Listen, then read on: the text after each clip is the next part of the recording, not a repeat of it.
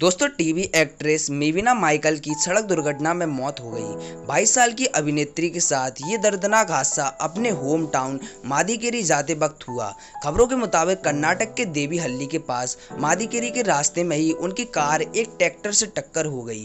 टक्कर बहुत ही ज़्यादा भयानक थी, जिसके बाद अभिनेत्री और कार में सवार उनके अन्य दोस्तों को इलाज के लिए नज़दीकी अस्पताल फ़ौरन ले जाया गया, लेकिन मेविना माइकल ने मौके पर ही दम तोड़ दिया, जबकि कार में उनके अन्य अन्य दोस्त भी थे जिनका इलाज चल रहा है। मेविना की मौत ने उनके परिवार, दोस्तों और पूरे टेलीविज़न इंडस्ट्री को बहुत ही बुरा झटका दिया है। दोस्तों, प्याते हुदूगिरी, हली लाइफ शो के होस्ट अकुल बालाजी ने एक्ट्रेस की मौत पर दुख जताते हुए ट्वीट कर लिखा, मेरी पसंदीदा प्रतियोगी और P H H L four की विजेता के अचानक निधन की खबर पर मुझे बहुत बड़ा झटका लगा। अभी वो युवा ही थी, उनके परिवार के लिए प्रार्थना।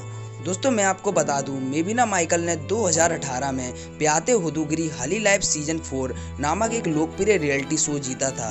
यह शो हाजन के पास बनबासी गाँव में आयोजित किया गया था। यह शो उन लड़कियों के बारे में था जो शहर में एक पौष जीवन जीती हैं। इस शो के दौरान उन्हें गाँव में देहाती जीवन को अपनाने की कोशिश करना था और बिन शो की सुविधा को प्राप्त करना था। लेकिन दोस्तों, कहते हैं ना, बुरा समय कभी भी बोलकर नहीं आता। ऐसा ही मेबिना के साथ हुआ और किसी ने यह सोचा भी नहीं था कि वह इतनी कम उम्र में दुनिया को अलविदा कह देंगी। दोस्तों, मैं आपको मेबिना के कार एक्सीडेंट से कुछ दिन पहले ही खींचे गए फ़ोटो दिखाता हूँ। यह फ़ोटो उन्होंने अपनी इंस्टाग्राम आईडी पर डाले थे।